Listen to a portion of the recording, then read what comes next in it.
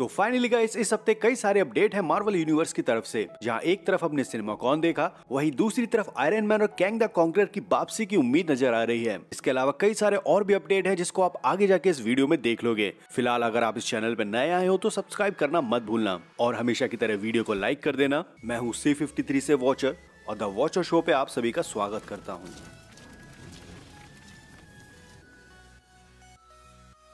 तो अभी जो रिसेंट में सिनेमा कॉन हुआ, उसको लेकर हमारी ये उम्मीद थी कि हमें डेडपुल थ्री का ट्रेलर देखने को मिल जाएगा। लेकिन एमसीयू ने ऐसा कुछ नहीं दिया, बल्कि सिनेमा कॉन में जो लोग आए हुए थे, उनके लिए 9 मिनट की डेडपुल मूवी के स्टार्टिंग को दिखा दिया। और इन 9 मिनट ने कई सारी चीज़ों को भी क्लियर कर दिया कि डेडपुल थ्री में क्या घमासान होने वाला है। और आगे ये मूवी सीक्रेट वॉर के लिए कैसे एक प्रोलूड बन गई है? इसके अलावा सिनेमा कौन से Captain America new brave world thunder और फैंटास्टिक फोर से भी अपडेट है, जिसके बारे में हम बाद में बात करेंगे। लेकिन उससे पहले हम बात कर लेते हैं की डेट थ्री से हमें क्या क्या देखने को मिला है। तो जो सिनेमा कॉन में नौ मिनट का फुटेज दिखाया गया है, उसकी शुरुआत होती है डेडपुल और वुलरीन से। जो किसी टनल से होकर गुजर रहे हैं। और यहीं पे डेडपुल वोल्वरीन से कहता है कि मैंने सुना है सीक्रेट वॉर्स की शुरुआत होने वाली है, लेकिन तभी फ़ोन रिंग होता है और वुलवरीन डेडपुल को धक्का देके फ्रेम से बाहर निकाल देता है। और उसके बाद फोर्थ वॉल को ब्रेक करते हुए वुलवरीन कैमरे की ओर देखकर कहता है, हे hey बॉब तुम एक मूवी थिएटर में हो, इसलिए तुम अपना चुदाऊ फ़ोन बंद कर दो। और वुलवरीन के कहने के बाद डेडपुल वापस से फ्रेम में आता है। और डेडपुल वुलवरीन से ये कहता है कि तुम्हें इस तरह से बात करते हुए देखकर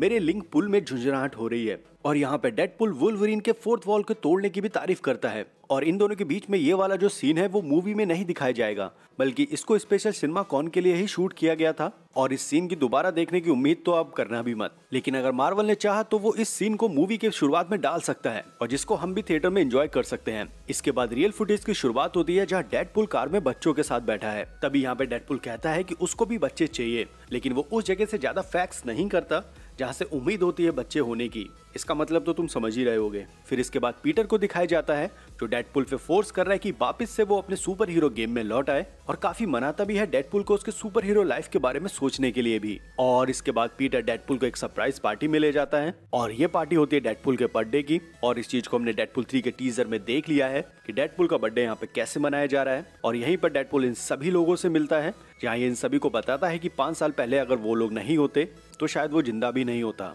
और यहाँ पर हमें एक चीज़ और भी कंफर्म कर दी गई है कि डेडपुल और वेनेसा के बीच में ब्रेकअप हो चुका है और ये दोनों एक दूसरे से अलग हो गए हैं। वेनेसा के पास इसका एक अच्छा रीजन भी है। क्योंकि डेडपुल की सुपर हीरो लाइफ की वजह से वेनेसा की ज़िंदगी खराब हो रही थी। और पिछली बार हमने डेडपुल टू में देखा कि वेनेसा को दोबारा मार के ज़िंदा किया टाइम ट्रेवल की मदद से। तो इन सबको लेकर वेनेसा ने डेडपुल से दूरी बना ली है। इसके अलावा हमने पिछले र्यूमर में ये भी सुना था कि इस मूवी में केविन फाइगी के काफ़ी रेफरेंस होंगे। तो यहाँ पर उनका पहला रेफरेंस आता है, जहाँ डेडपुल कहता है की उन्होंने गाली गलोच के लिए मना नहीं किया है, लेकिन नशा पत्ता के लिए सीधा इनकार है। और ये चीज़ वही है जिसको हमने डेडपुल टू में देखा था, जहाँ डेडपुल ने कई सारे पाउडर को ब्लाइंड एल के घर में छुपा के रखा था। तो इसी कन्वर्सेशन में ब्लाइंड एल डेडपुल से वही पाउडर की मांग करती है। और तब डेडपुल केविन फाइगी की ये सारी बातें ब्लाइंड एल को बोलता है। फिर इसके बाद डेडपुल का केक सामने आता है, वो उसको ब्लो करता है। और जैसे ब्लो करता है, तभी टीवी एजेंट उसके दरवाजे पे आ जाते हैं और उसको खींच के सीधा टीवीए ले जाते हैं।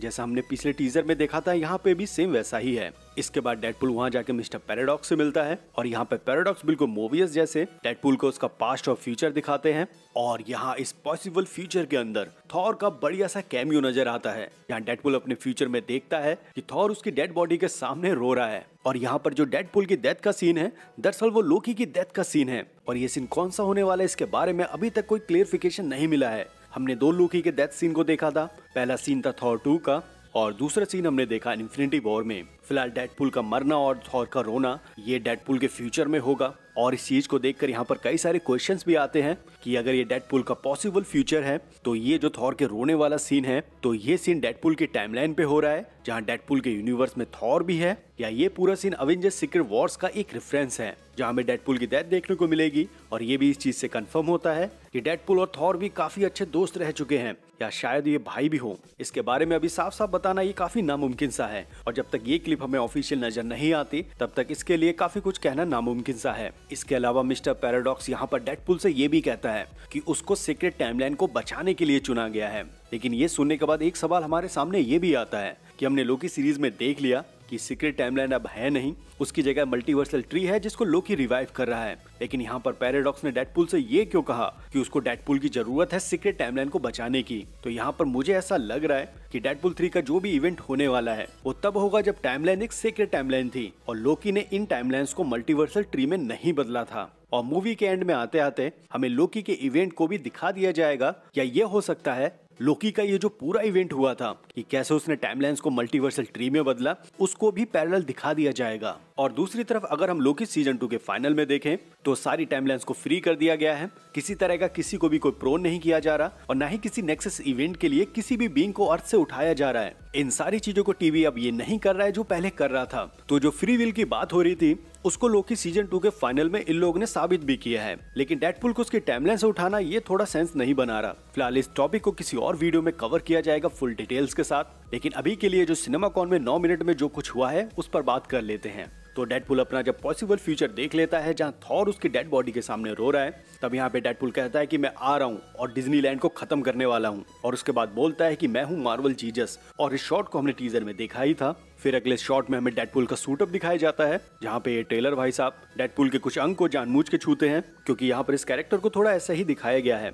इसके अलावा यहाँ पर एक चीज़ और भी रिवील कर दी गई है कि हमने यहाँ पर जो डेडपुल की तलवारों को देखा था, वो एडवेंटियम की बनी हुई हैं। इसका मतलब समझ रहे हो कि इन तलवारों में इतना दम है कि ये वुलवरीन को टपका सकती हैं और अगर कैसेंडा नोवा के पास ये वाली तलवारें पहुँच गई तो वो डेडपुल का बुरा हाल कर देगी इसके बाद हम डेडपुल और वुलवरिन को रोड ट्रिप बाइव करते हुए देखते हैं, जहाँ पर डेडपुल वुलवरिन के येलो और ब्लू सूट का मज़ाक बनाते हुए ये कहता है कि एक दोस्त दूसरे दोस्त को वो कपड़े नहीं पहनने देता, जो कपड़े लॉस एंजलिस रैम के प्लेयर पहनते हैं। फ़िलहाल यही सब सिनेमा कॉन में हमें दिखाया गया, जहाँ हमें कई सारी नई चीज़ों का पता लगा। पहला जो डेडपुल की तलवार है, वो एडिवेंटियम की है। दूसरा डेडपुल का जो हमने पॉसिबल फ्यूचर देखा, उसमें थॉर डेडपुल की डेड बॉडी के सामने रो रहा था। तीसरा, कि डेडपुल थ्री का जो भी इवेंट ये होने वाला है, वो शायद मल्टीवर्स ट्री के बनने के पहले का है। और चौथा कि ये इवेंट सीधा सीक्रेट फोर्स से जाके कनेक्ट होगा। और ये जो हमें ये नए चार टॉपिक मिले हैं, इस पर मैं एक फुल डेडिकेट और थ्योरी के साथ वीडियो बनाऊँगा। फ़िलहाल अभी के लिए चलते हैं अपनी अगली मूवी कैप्टन अमेरिका एक बहादुर दुनिया की तरफ़,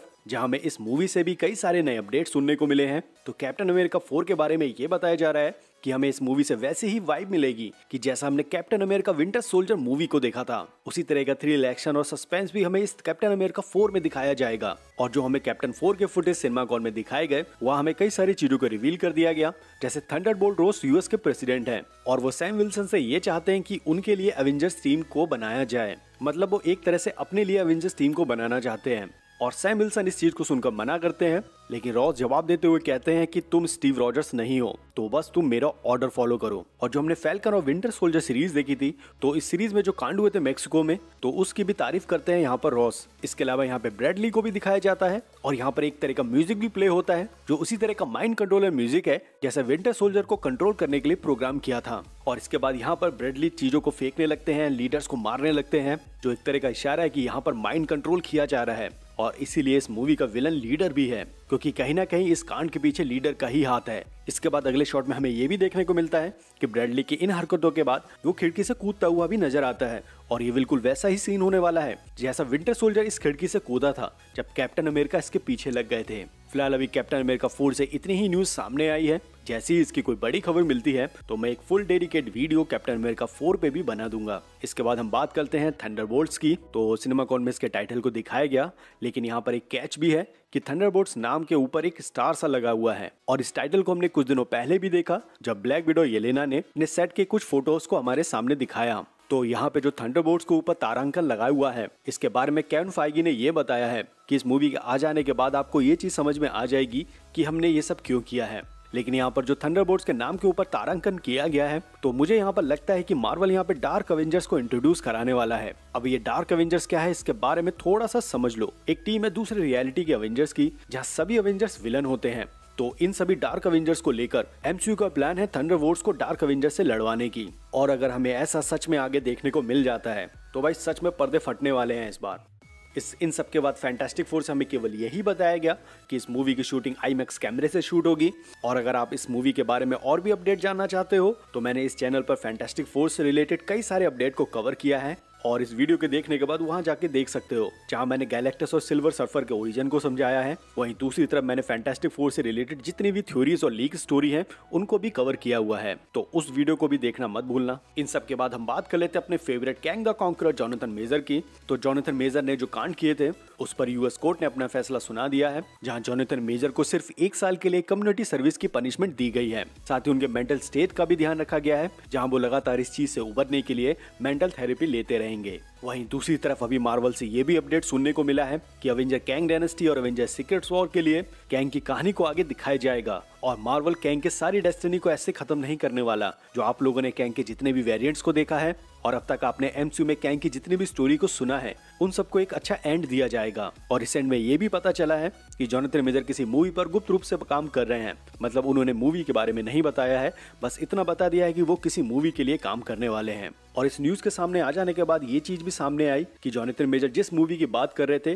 वो शायद किसी एक ब्लैक सेमुराई के ऊपर होने वाली है। या इस चीज़ को इससे कवर किया जा रहा है कि असलियत में जॉनथन मेजर कैंग के रोल के लिए वापस आएँगे, पर ये चीज़ वो अपने मुँह से नहीं कहना चाहते। फ़िलहाल अब एमसीयू ने कई सारी उम्मीदें दे दी हैं कि वो कैंग को वापस से हमें एमसीयू में दिखाने वाला है, और ये कैसे क्या होगा इसके बारे में जो भी आपको क्लियरिफिकेशन मिलेगा, उसके लिए हमें कॉमिकॉन तक रुकना पड़ेगा। और ये कॉमिकॉन होगा मिड जुलाई में डेडपुल थ्री के रिलीज़ से पहले तो आई होप हमें कैंग देखने को मिल जाए। और जो अवेंजर फाइव के नाम से लिस्टेड कर रखा है मार्वल ने, उसकी जगह हमें अवेंजर कैंग डायनेस्टी देखने को मिले। आप सभी को क्या लगता है कि अवेंजर फाइव में हमें अवेंजर कैंग डायनेस्टी देखने को मिले या कोई और दूसरी मूवी इसके बारे में आपके क्या थॉट है, इसको शेयर कर सकते हो मेरे साथ कमेंट बॉक्स में। इसके बाद इस हफ़्ते की सबसे बड़ी न्यूज़ ये सुन लो कि खुद आरडीजे ने ये बताया कि एमसीयू उनके डीएनए में बसता है और वो खुशी खुशी आयरन मैन के रोल में वापस भी आना चाहते हैं। साथ ही उन्होंने ये भी कहा कि उन्होंने आयरन मैन के रोल को नहीं अपनाया, बल्कि आयरन मैन ने उनको अपनाया है।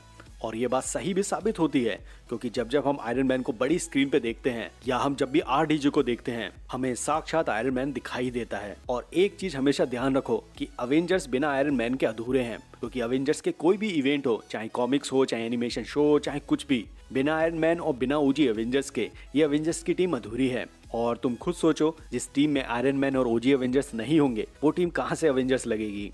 इसके बाद हम कुछ न्यूज़ कवर करते हैं मार्वल एनिमेशन की तरफ़ से। तो रिसेंट में ही एक्समैन 97 का ट्रेलर ड्रॉप किया गया और वहाँ पर हमें कैप्टन अमेरिका की शील्ड को दिखाया गया। और इस सीन को लेकर कई सारे क्वेश्चन भी सामने आने लगे। कि ये कैप्टन अमेरिका क्या वही है जिसको हमने अर्थ माइटेस्ट हीरो में देखा था? मतलब जो हमने अवेंजर्स अर्थ माइटेस्ट हीरो के दो सीज़न देखे थे, उसको इस एक्समैन 97 से कनेक्ट करने वाले हैं। और अगर सच में हमें ऐसा देखने को मिल गया तो अवेंजर्स अर्थ माइटेस्ट हीरो के दो सीज़न में होने वाले जितने भी इवेंट थे, और इधर एक्स मैन एक्समैन 97 में होने वाली इवेंट है, इन सभी दो शोज़ की टाइमलाइंस को एक दूसरे के साथ अलग अलग रखना, ये थोड़ा सा समझाना मुश्किल हो जाएगा, लेकिन मार्वल एनिमेशन पर हमें पूरा भरोसा है। कि ये चीज़ ये भी आसानी से कर सकते हैं। इसके अलावा मार्वल एनिमेशन ने ये भी बोला है कि वो 90s के स्पाइडरमैन का शो हो या फैंटेस्टिक फोर या सिल्वर सल्फ़र वो उन सभी पे काम करना शुरू कर रहे हैं। और जल्दी आपको मार्वल एनिमेशन की तरफ़ से अच्छी न्यूज़ मिलने वाली है। फ़िलहाल मुझे जिस शो को देखने में सबसे ज़्यादा खुशी होगी, वो होगी Avengers Earth mightiest super hero के सीज़न थ्री को देखकर। फ़िलहाल अभी आगे देखते हैं कि मार्वल आगे क्या पकाने वाला है। तो भाई लोग, आज के लिए इतना ही। अगर यहाँ तक देखा हो तो प्लीज़ यार चैनल को सब्सक्राइब करना मत भूलना, क्योंकि यही एक ऐसा सपोर्ट है जो आप मुझे दे सकते हो। फ़िलहाल मैं मिलता हूँ आपको अगली वीडियो में। तब तक आप अपना ध्यान रखो। मज़े लो लव यू एंड बाय